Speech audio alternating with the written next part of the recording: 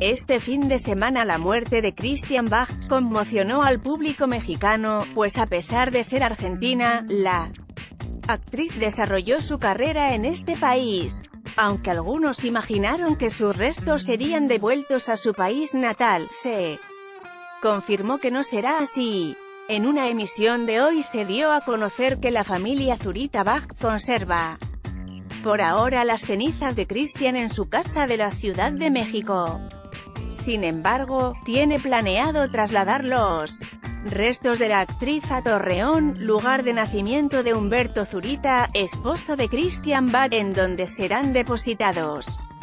En un nicho familiar, el esposo de Bach compartió un mensaje en Instagram para agradecer las muestras de apoyo del público y para anunciar, gracias, muchas gracias a todos de sus palabras de aliento para mí y mis hijos, verdaderamente.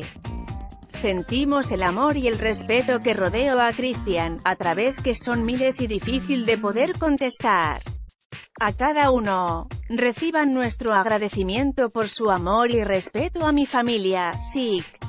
Tras anunciar la muerte de Christian Bach, usuarios de redes sociales, así como amigos de la actriz, lamentaron la partida de la estrella de televisión.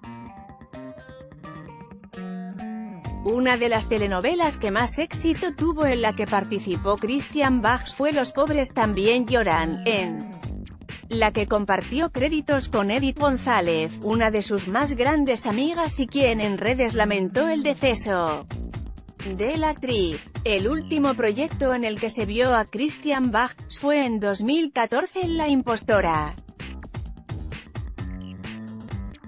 Drama en el que interpretó a Raquel Altamira. Fuentes, Instagram y quién fotos, Instagram anímate a comentar. Queremos saber tu opinión. Comentarios Powered by Facebook